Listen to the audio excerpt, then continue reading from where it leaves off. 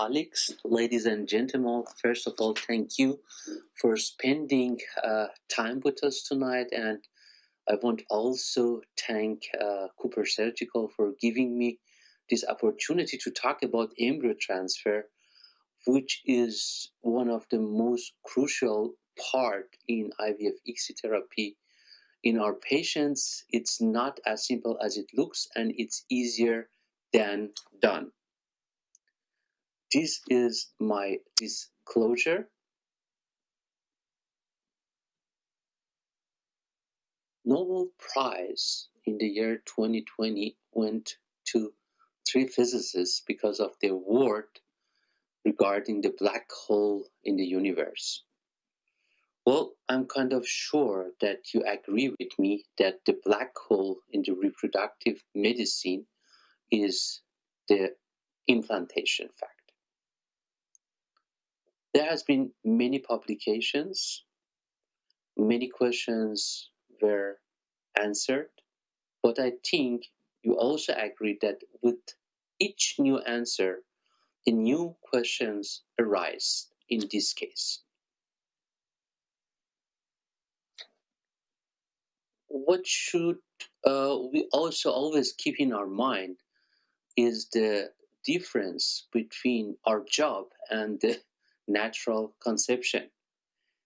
Well, normally we have the sperms which goes along the whole way through the uterus, the tubes, and reach the oocyte, fertilize the oocyte, and the fertilized oocyte goes the whole way back and reach as a blastocyst on day five, the endometrium, and uh, will implant or will not implant. In our situation, the difference is that the whole process of fertilization is outside the body. We bring the day five or day three uh, embryo into the cavum uteri, and then the question is also again if this blastocyst or uh, the three embryo is able to implant or not. And we also agree that uh, towards uh, embryo transfer hasn't been that much attention uh, been paid. And this is also the reason I think that in uh, July 2018, uh, Fertility Study published uh, uh, 40 years of IVF and regarding the embryo transfer. alone the title is suggesting everything, the often overlooked embryo transfer. But we know that is important and we know there are relevant aspects, there are lab aspects, there are gynecological and reproductive medicine aspects. I will not go over the lab aspects because my colleague will talk about it later. I have like 11 points which I want to share with you, which has been considered as very important uh, looking at the literature in the last 20, 21 years. The first one, and according to the literature of the last decades, one of the most important one is that as operators, we should perform the embryo transfer atraumatically. What what does it exactly mean? That means embryo transfer shouldn't be difficult. Again, what does it mean? Uh, Thomas et al. published this paper many years ago, and they differentiate between three different type of embryo transfer. The easy one, it takes place smoothly. There's no use of any other instrumentation needed. Catheter is clean of blood, and there's no need to change the catheter. The next category is the intermediate embryo transfer the catheter meets some resistance. As the operator you feel it. There is some problem there but you can overcome it. Sometimes you have to use cervical forceps. You have to use the alter sheet of the catheter first.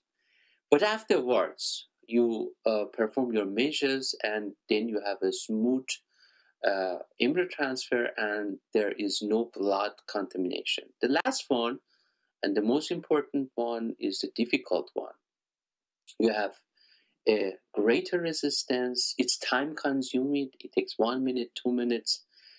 You need to change the catheter, so embryo back to the lab, change the catheter. You need uterine sounding, and after all, you have blood uh, in your catheter. It doesn't matter where you have blood. So Thomas et al. Uh, postulated at that time, and they were able to uh, demonstrate that there's a significant difference in clinical pregnancy rate and implantation rate if you perform uh, the embryo transfer easily or if it's the difficult one, as you can see here. One another interesting aspect was that often does it happen that you have a difficult embryo transfer. According to the this study, it's almost about 7.6%. And don't forget, sometimes it's your objective feeling that you have performed a really smooth embryo transfer, but it's your feeling as the operator. The feeling of the catheter, if it's blood on it, it means the embryo transfer was not that smooth. And so you see blood at the catheter always play a very important role. So the question is, how can we make it easier for us as the operator? Well, one of the most important steps in order to reach this is to use ultrasound. There are lots of publication in this regard, and it's textbook knowledge that uh, performing embryo transfer under ultrasound guidance make it easier because the operator uh, can find the way uh, much easier.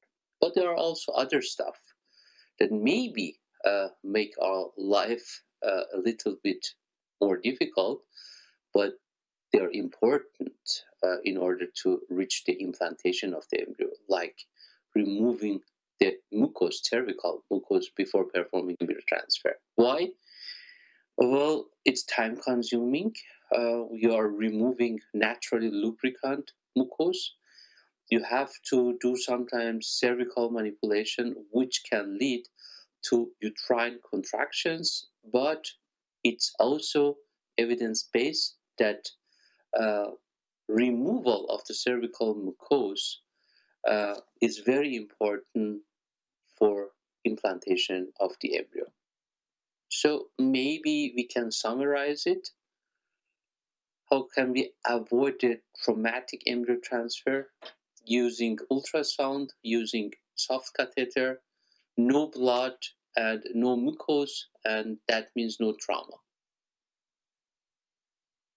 While most of the publications at the time before the millennium so the very the importance of ultrasound guidance uh, for the operators to find through the cervical canal easily and smoothly towards the cavum uteri. Afterwards, the publications were able to demonstrate another very important advantage, namely the position of the embryo within the endometrium after the embryo transfer.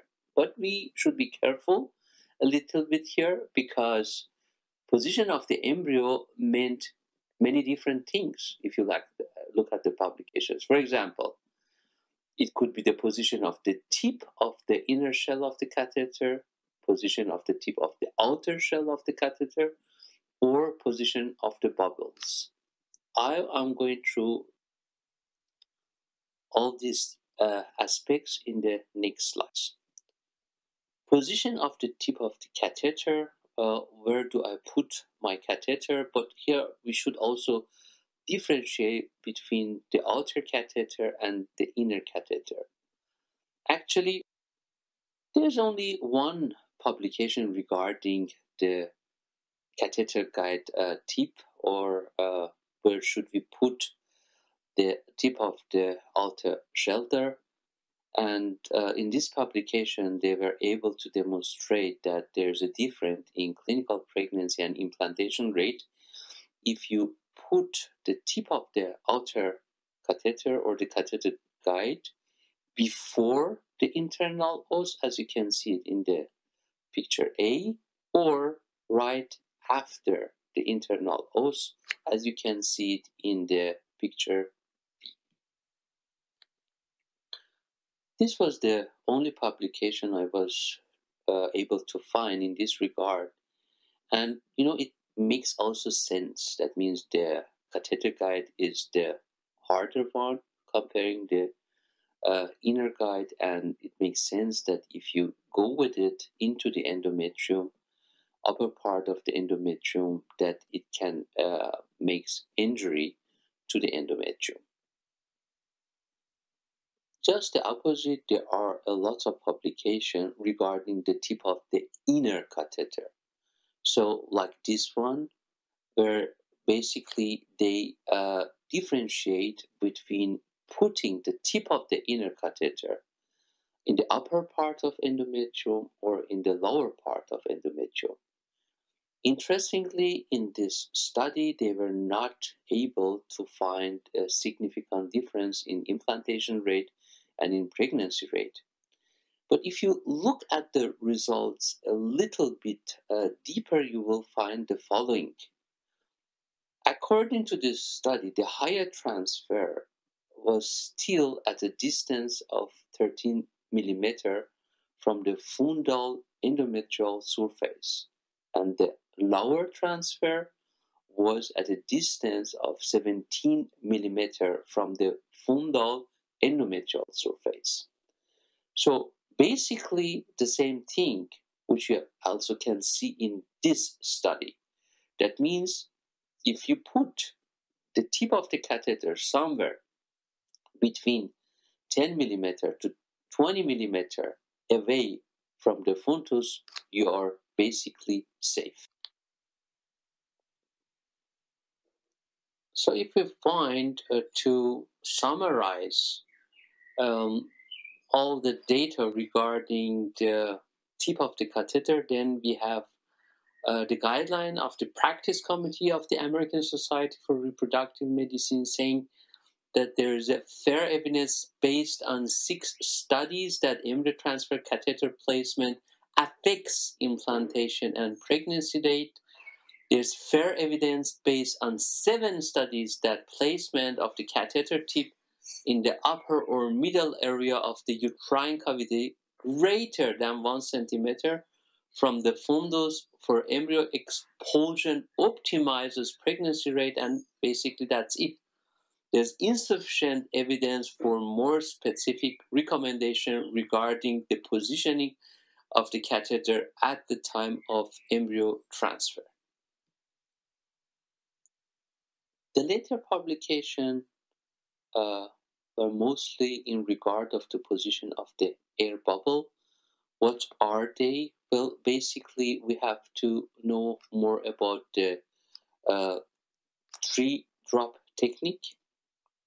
Uh, the three drop technique, in which the drop of medium containing the embryo is separated from a preceding and a following drop of medium by an air bubble.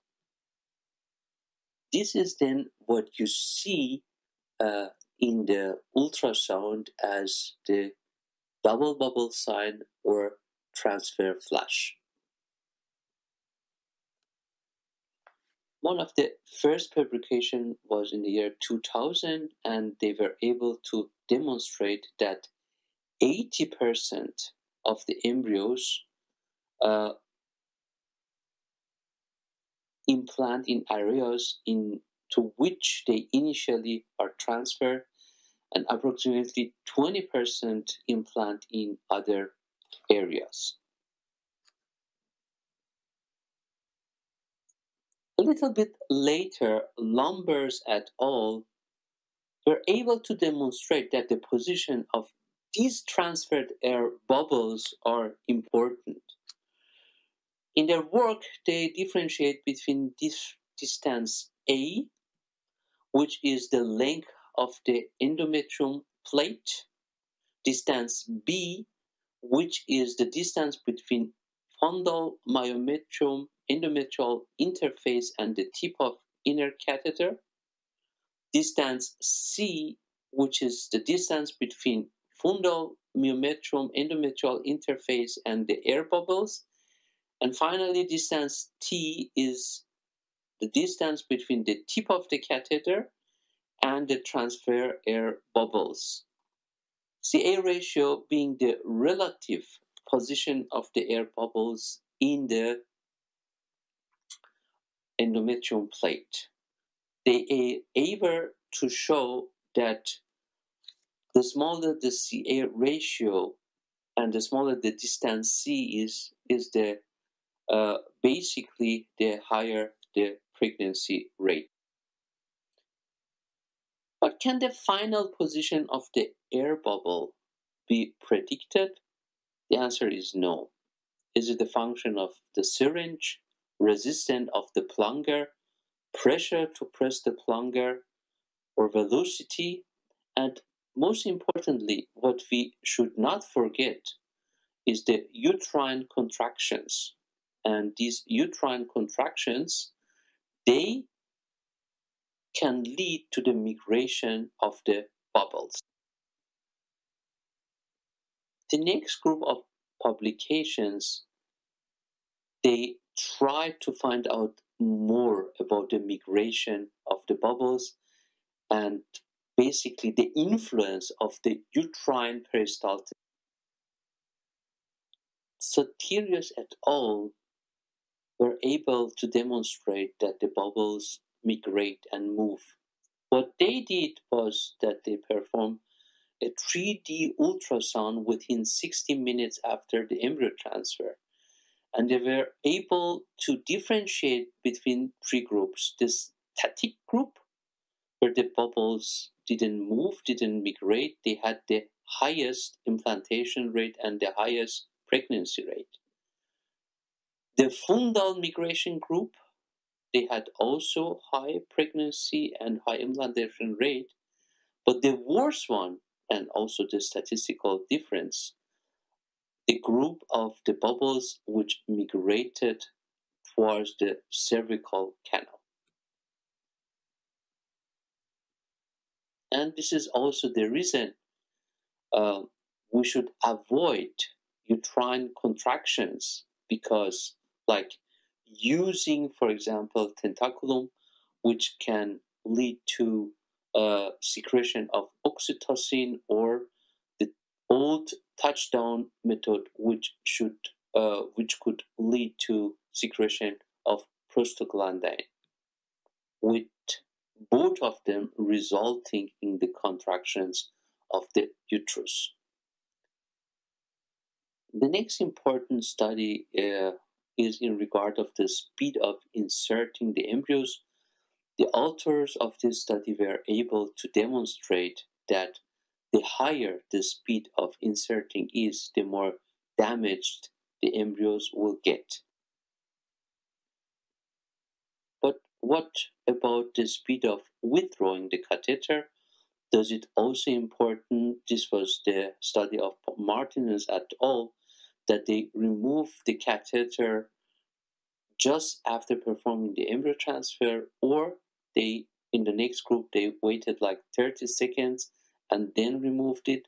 In both groups as a matter of fact there was no difference at all. What about the retention of the embryo in the catheter which we always check after the embryo transfer? And if you're performing a double transfer you have one embryo transfer at the other one uh, still in the catheter. Well, basically, this is exactly the same. There is no difference in the pregnancy rate. The very early publications uh, uh, also uh, try to find the better position of the patient, but there was also no difference at all in this regard. One uh, very important uh, publication from Sallam et al., which was able to demonstrate that the bigger the angle between the cervix and the body of the uterus, the higher the pregnancy rate, which could also be a reason why we have the bladder always full before performing the embryo transfer.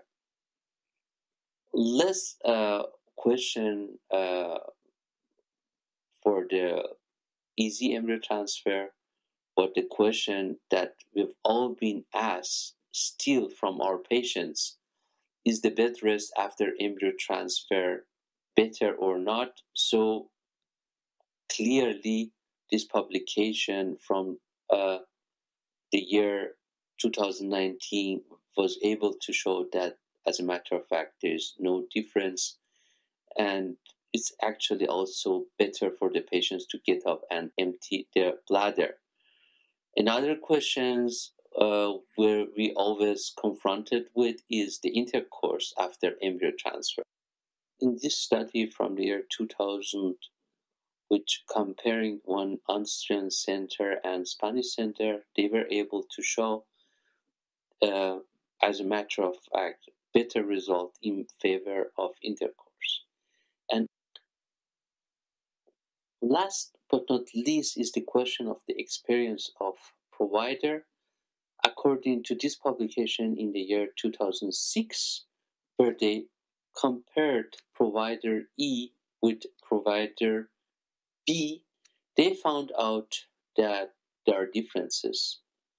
Difference in the presence of the blood, difference in the presence of the mucus, difference in uh, performing difficult or moderate or easy transfer, and basically uh, there's a significant difference between the clinical pregnancy rate if the embryo transfer was performed by provider A or by provider B.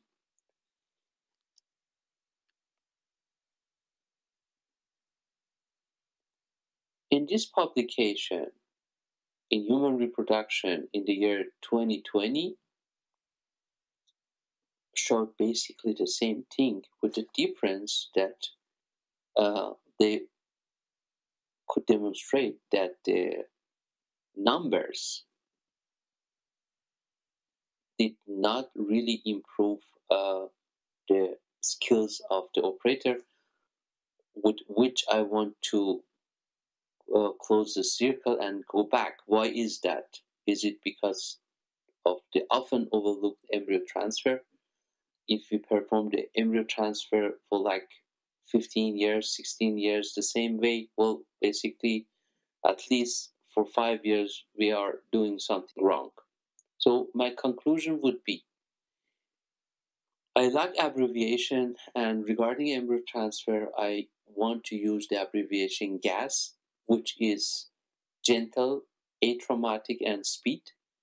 This is the way the embryo transfer should be. And also, window of implantation, we should bear in mind that it's not only temporal but is also special.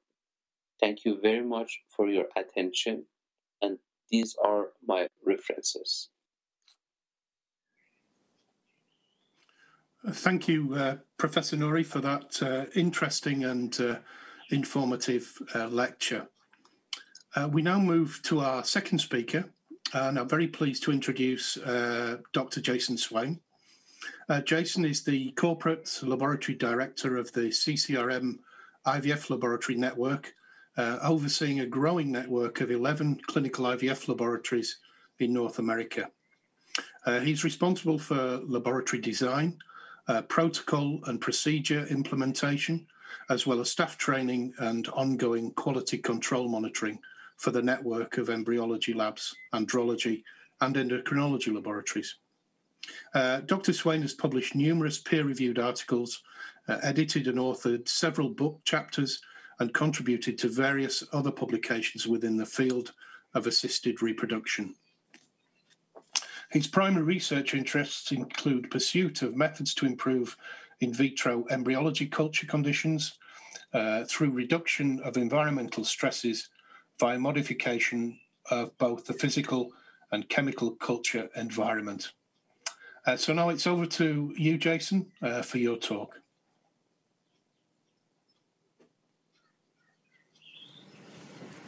I would like to thank Cooper Surgical for the opportunity to speak today on evidence based best practice in embryo transfer, a laboratory perspective. Thank you all for attending. I would like to declare that a fee was paid by Cooper Surgical for this lecture. I have nothing else to declare other than perhaps a slight U.S. bias in some of my viewpoints. Embryo transfer is obviously a very important step in the IVF process. Fortunately, there are several very good reviews on the topic. Uh, some of those can be seen here. I'd like to highlight this particular publication from ASRM on a standard embryo transfer protocol template, which outlines 12 steps Uh, a committee opinion of ASRM. Many of these reviews highlight clinical aspects of the embryo transfer process, and for the purpose of today's talk, I'm going to try to focus on the laboratory perspective. This is one of the first publications I could find really focused on laboratory aspects of embryo transfer. This is from 1984 in Fertility and Sterility from Patrick Quinn and colleagues.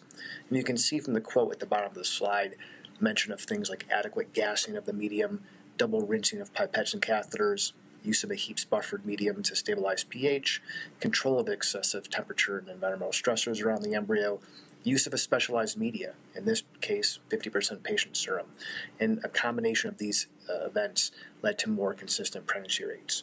So we'll touch on several of these points as well as others. When trying to determine best practice, one approach that can be used is a survey. You can see such a study here from the Journal of Assisted Reproduction and Genetics from 2014, a worldwide web-based survey of embryo catheter loading approaches. You can see there was a high level of agreement on various approaches, such as washing the catheter prior to loading embryos, observing the catheter under the microscope, uh, how the catheter is loaded. But importantly, over here you can see that there was uh, quite a bit of variation in other approaches in terms of the preference for how the catheter is marked, what medium is used, how to load that catheter with medium and air, the volume of the catheter, and other factors. And I think this is, is really important as we'll discuss. So it should be apparent that there are a lot of preferences and a lot of variations in the embryo transfer uh, coming from the lab perspective. We really do need to balance the lab versus the clinic as this process involves both. So I think what we're going to try to do is look at what is actually known in the process of embryo transfer, meaning is there data or what has been shown to actually work and improve outcomes. As best practice, prior to embryo transfer, there must be a clear written plan for the laboratory. This plan should be confirmed with the clinic as well as with the patient prior to embryo transfer.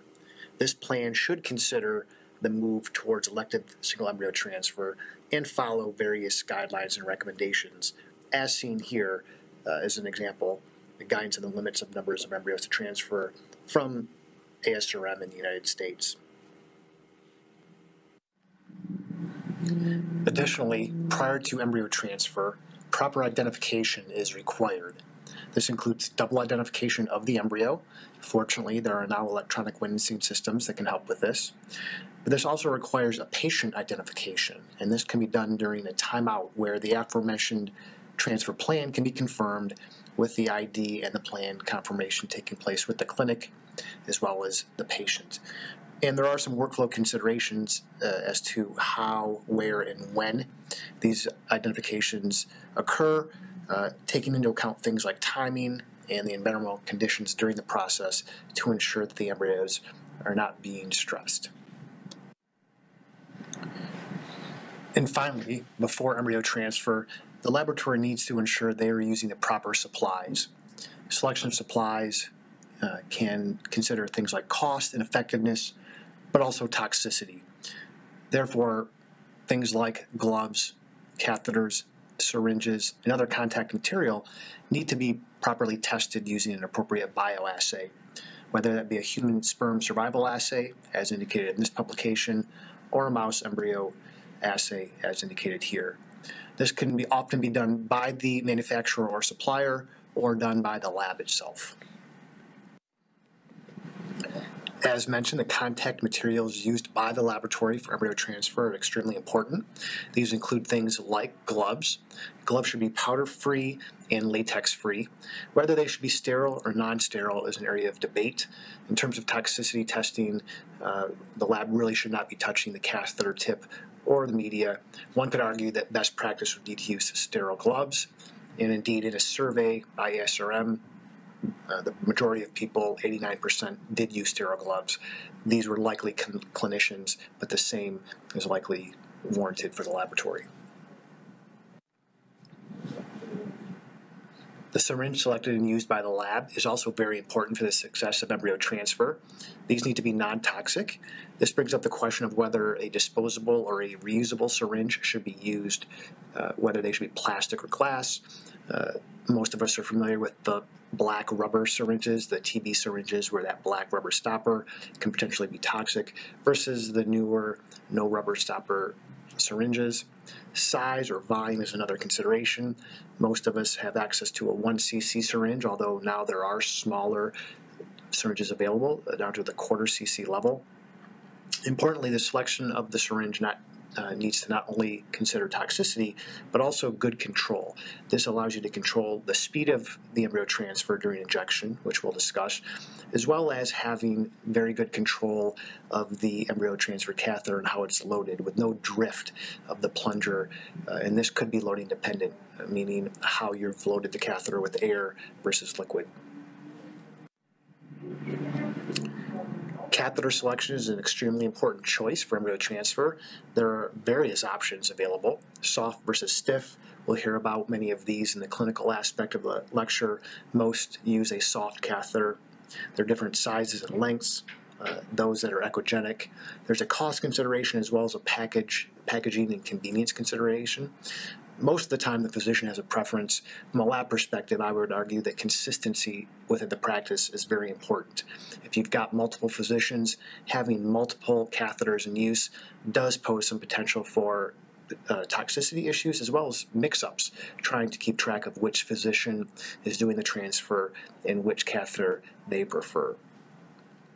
Regardless of which catheter is selected, this should involve some sort of lab quality control testing with a bioassay as previously mentioned. In addition to catheter selection, there's also the issue of catheter loading. One of the first questions is whether the catheter should be rinsed prior to use. This would be to remove potential toxicity. From that previously mentioned survey on embryo transfer catheter loading techniques, you can see that most labs do pre-rinse their catheter prior to use. There is no data suge to suggest that there is a benefit or a detriment of this approach, however. The volume of media used when loading the catheter is also an area of discussion. There was a study from 2018 that indicated no significant differences when using 20 or 40 microliters of media loaded into a catheter as uh, uh, shown in the figure pictured. However, in 2001, uh, Thomas Ebner and colleagues showed that if you used too little media, in this case less than 10 microliters, that outcomes could be impaired. And uh, similarly, too much media can result in lower outcomes due to possible embryo expulsion during the transfer. Markus Montag uh, presented a study in 2002 that indicated that around 40 to 50 microliters of media in the embryo transfer catheter was superior to 15 or 20 microliters. So as a result, somewhere around 30 to 40 microliters seems to be the optimal volume for embryo transfer. In addition to the volume used when loading the catheter, how the catheter is loaded is another important consideration, specifically the presence or absence of air bubbles. You can see a variety of loading techniques pictured here. Some like to have air bubbles flanking the embryo from a protective standpoint. Some like to see the visualization of the flash on ultrasound. There are some physical considerations in terms of loading. Uh, depending on the type of syringe, there may be more or less drift with a media backfill versus an air backfill. And some like to have an air bubble at the tip of the catheter to avoid possible capillary action and wicking and uh, potential loss of the embryo. The impact on the presence or absence of air bubbles during catheter loading and embryo transfer has been studied. Two particular studies looked at this. No significant differences were noted between the two approaches. The type of medium used when loading the embryo transfer catheter is another important consideration for the procedure, whether this be culture media whether it includes a pH buffer like HEPES or MOPS, whether it's a specialized transfer media, perhaps with a higher protein content, as we heard from the 1984 study by Patrick Quinn using 50% patient serum. Importantly, it does not appear that adding additional protein increases the, increases the viscosity of the culture media, and in one study per, performed in 2016, there was no significant impact comparing 10 versus 20 versus 50% protein. Other approaches look at using embryo factor enriched media, adding HCG or hyaluronan, and we'll discuss hyaluronan uh, in embryo transfer media in the next slide, as well as other additives. And so certainly this is an area that has lots of room for improvement in research, I think. Uh, there's a nice study from 1989 by Menezes and, and, colleagues looking at the impact of the viscosity of the embryo transfer media and whether this could potentially improve outcomes.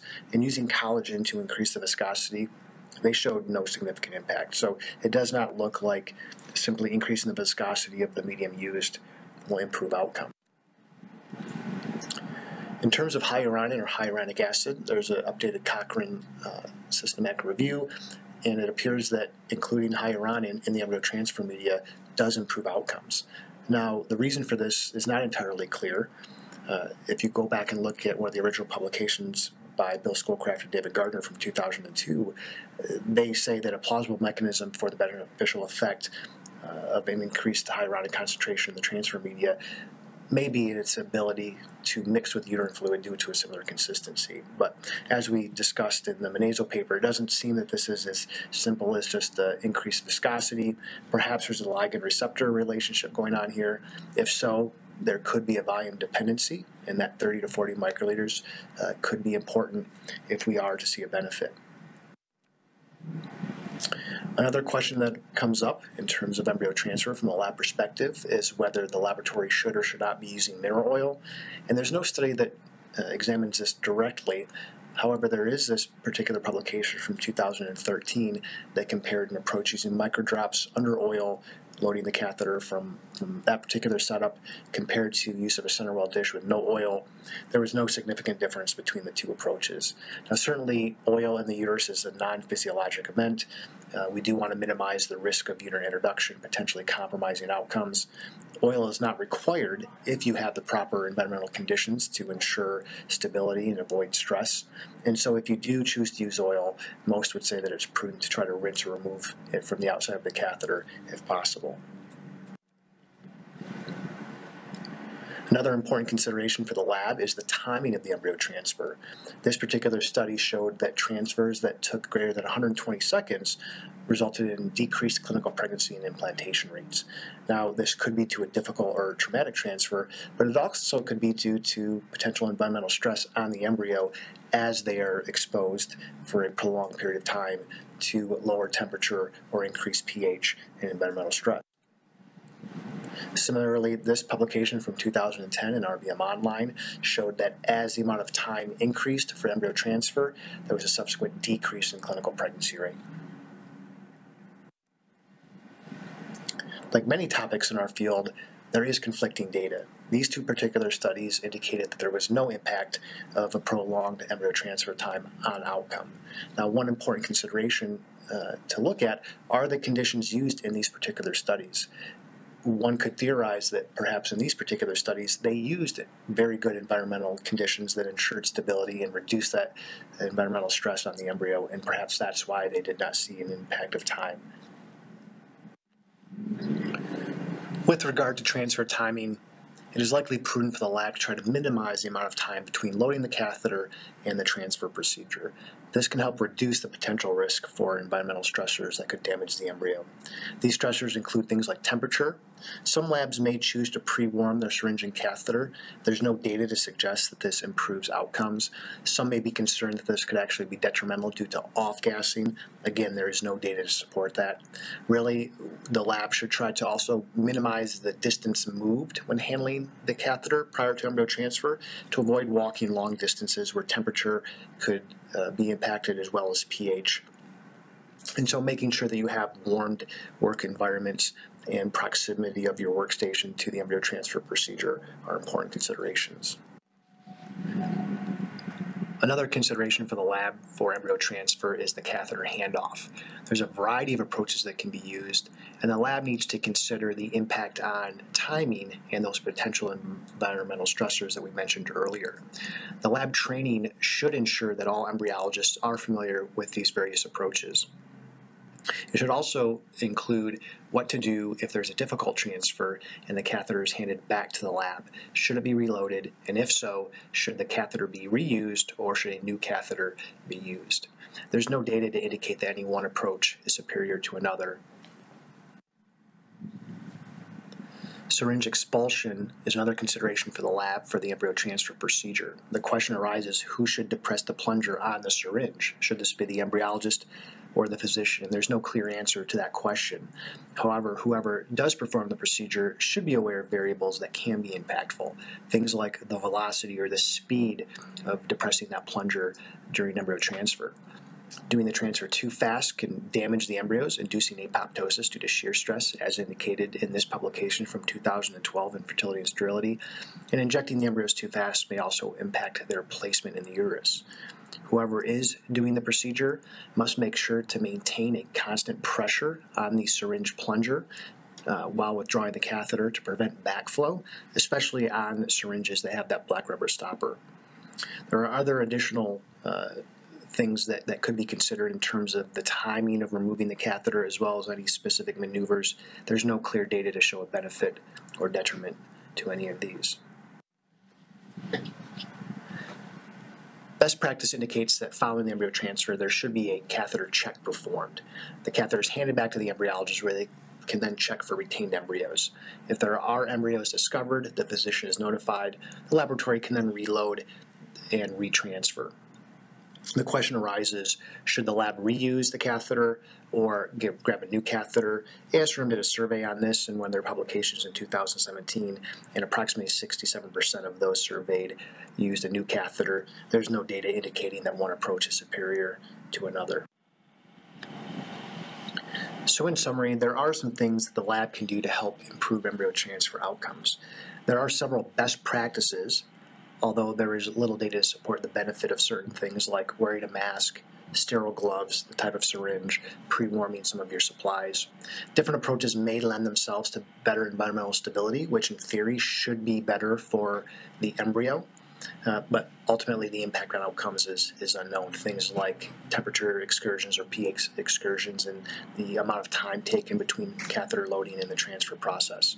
The catheter loading approach may vary, but volume appears to be important 30 to 40 microliters based on published data. Hyaluronan in the transfer media appears to be beneficial, although the exact reason is currently unknown, and the speed of the injection as well as the withdrawal may impact embryo placement and outcome success. Thank you very much. Thank you, uh, both of you, for those uh, excellent and insightful uh, lectures. Uh, we're now going to open up the uh, the question and answer session, um, and we've had um, a large number of questions submitted. Of course, we won't be um, we won't be able to answer all of them, but we'll try to answer the uh, the most commonly asked questions. Um, and I'm going to uh, address the um, the first question to, to you, Kazem, if I might. Um, there's a question some gynecologists perform the transfer uh, without ultrasound, uh, but check the position afterwards with a vaginal ultrasound probe. Are there any downsides to doing so? Uh, first of all, I think it's uh, the state of the art, according to the literature, that we should use uh, ultrasound guidance because of the benefits I addressed in my lecture. Uh, so, first of all, I think we should use it transabdominal ultrasound or vaginal ultrasound during and before embryo transfer now, I want to ask my colleague what is the benefit of doing the vaginal sonography afterwards, after what it happened, just in order to see the location. Maybe it's from benefit for doing some research, but from the clinical point of view, it's done. What's done is done. You cannot change it anymore. Sure. Uh, well, thank you uh, for, for, that. Um, Jason, I'm going to uh, address the second question to you, if I may, and it's a it's a question that crops up uh, on on many occasions, uh, and that is about uh, the loading volume of the of the catheter. in your talk, you quite nicely presented the information that's available to us, um, and the conclusion was that somewhere between 30 and 40 microliters seems to be optimal. How would you validate that in your lab? And how would you go on to uh, train your embryologists to load that volume without accurately measuring it to reduce the time that's needed, etc.? Yeah, so uh, you know, uh, practically to validate the volume, uh, we would load the catheter uh, to our our uh, preferred method, which we would assume would be around 30 to 40 microliters, and then expel it as we would for a number of transfer, and then use a a calibrated pipette to draw up the media to, to verify whether we were at that 30 to 40. And, and it's not uncommon to find out that you might not be. And so that would then elicit uh, uh, likely uh, reload, uh, modification of the loading to get to that 30 to 40 microliter. Um, and then that would entail adjustment of the of the uh, procedure, the protocol, likely a, a picture. Um, in the past, we actually had taken uh, Sharpie or marker and drawn on the uh, syringes to show the size of the columns, uh, a, a, copy of that, use that as a training tool, uh, and then make sure lab staff are all trained on any modification to make sure that it did align with the volumes that, that we wanted it to align with. Yeah, that, that's that's really useful, and I'm, I'm sure people will um, will take that away and, and try to uh, implement it uh, in their laboratories. So we've got another um, question for you, uh, Kazema, a, a gynecological question. Um, what happens if we discover uh, fluid in the endometrial cavity when we're coming to do the embryo transfer? Thank you very much. I think it's a very, very important question. And the answer uh, would be different if you would ask the same question like 10 years ago. I would say, uh, suck it the fluid and perform the embryo transfer. Today, my personal opinion is freeze the embryo because first of all, we have to find out what's the reason. Is it just hydrometra or is it the reason? Is there something pathological behind it? Again, 10 years ago, we didn't have the possibilities of vitrification as we have today. So today, I would say if there's any suspicious thing in the metrometrium fluid or polyp or something like that, it's better because embryos, blastocytes are important, they are precious. So it's better to freeze and to check the patient. Excellent advice. Um, I'm going to address the, the next one to both of you because I think it's relevant uh, to both. And we had a question uh, Should the lab be present in the embryo transfer room? And how should the doctor and embryologist communicate during the embryo transfer? Uh, and is there room for feedback during and after the embryo transfer? So it'll be interesting to see it from a clinical and an embryological point of view, because of course in different settings there are different interactions between embryologists. So what might be an ideal scenario? Kazem, if I can start with you. Actually, I wanted to hear the opinion of Jason first, but okay. I... okay, so I'm happy to pass it over to Jason to give his opinion first, and then you can respond. Happy. Yeah, I would say uh, I I don't think it's mandatory for the embryologist to be in the room, but I think it's helpful uh, to minimize that distance, that space, to allow for the the rapidness uh, of loading the catheter with a quick one or two steps to hand that catheter to the physician. Uh, our personal approach is that we don't have the embryologists uh, depress the plunger. The embryologist is simply doing the handoff of the catheter to the physician in the trained method according to whichever transfer approach the, the physician is using. So I do like uh, the embryologist in the room just from that distance and timing standpoint. And then in terms of feedback, uh, again, our, our experiences after the, the transfer, absolutely, in terms of notifying the physician of a retained embryo and reloading. Um, if the, the physician is having a difficult time getting in based on their their transfer approach, there's usually feedback saying I'm having a difficult time. Can you get me a, a larger catheter ready? Can you get me a stylet or whatever additional supplies may be ready? So there is some amount of feedback, especially if there's a difficult transfer, which proximity also helps with that. So, so basically, I, I agree, yeah, yeah, I, I agree 100% with Jason. In addition, I want to say it's also very important. I think Jason will agree with me. It's uh, well, I am based in Vienna, and it's liking uh, like dancing waltz, Wiener Waltz. You know what Wiener Waltz is? That means dancing waltz. So you would be amazed how different it is to dance and change your partner. One of the things we do is every three months, we check the pregnancy rate, not only of the operator, but also the combination of the operator and the embryologist.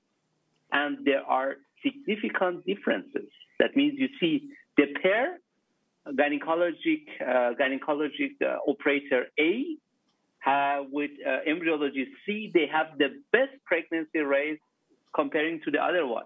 So what we try to do every three months is to understand why some couple can dance waltz better than the other one.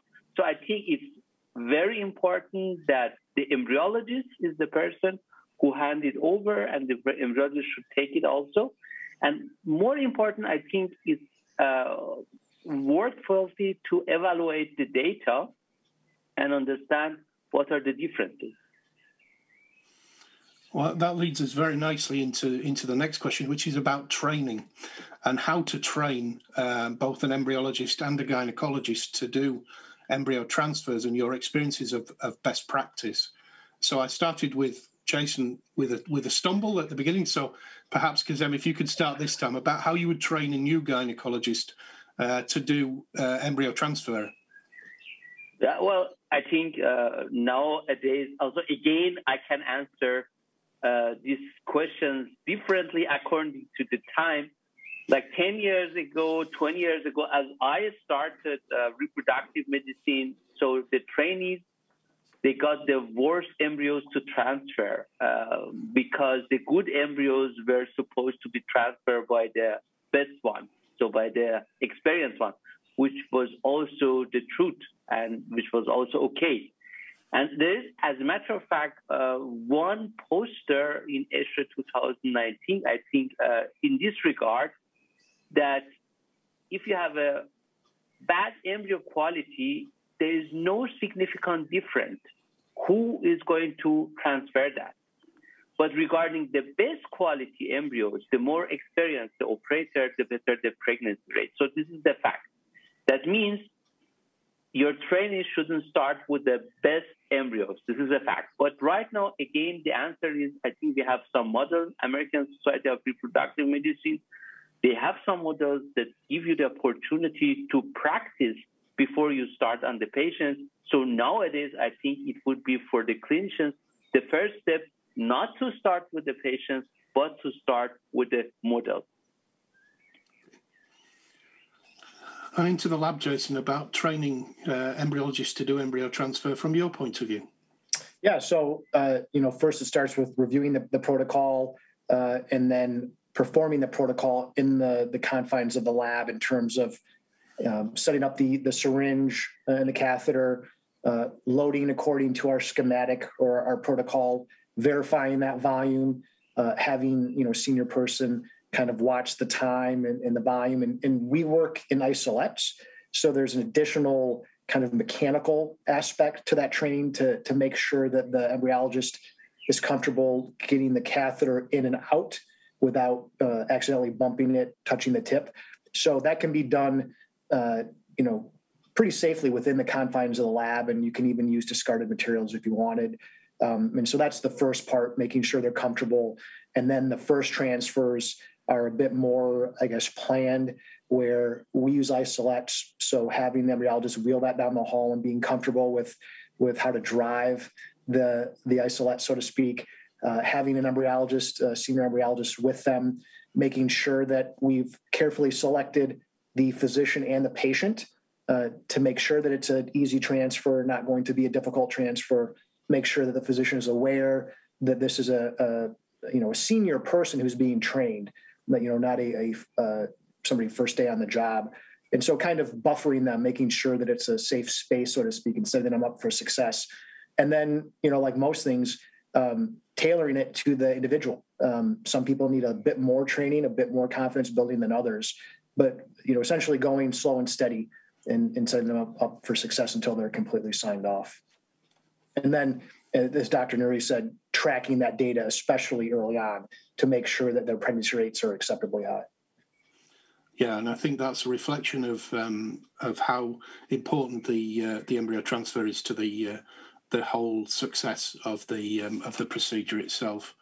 Well, sadly, gentlemen, uh, we've uh, we've reached the end of the session. Um, I'm extremely grateful to you uh, for your presentations and for answering the the questions and sharing your knowledge, and also thank you to um, all of the people that have attended.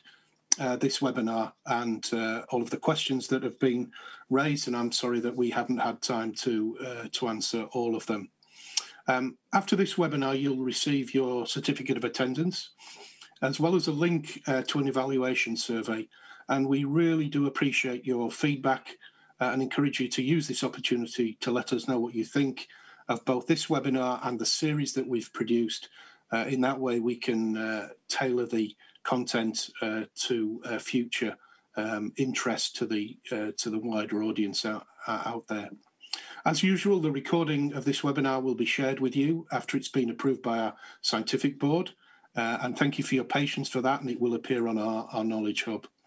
Uh, meanwhile, please visit the Knowledge Hub on the website where all of the previous educational webinars are available uh, for replay, um, and uh, there's some very interesting um, topics discussed there. Uh, we hope to see you for our journal club next week on Tuesday, uh, May 26th, uh, where the paper that's been presented uh, is endometrial scratching in women with one failed IVF for ICSI cycle, uh, outcomes of a randomized control trial uh, called the Scratch Trial uh, that was published in Human Reproduction in 2021, earlier this year. And registrations are open on the website for that. Uh, finally, we have uh, just launched uh, the second episode of our educational podcast series, uh, Cooper Insights. Uh, subscribe uh, on your favorite podcast app or listen on our website to Male Fertility, Could Reproductive Health Screening Help? So, in the meantime, it's just left for me to say keep safe and stay healthy, Uh, and please join us for future events.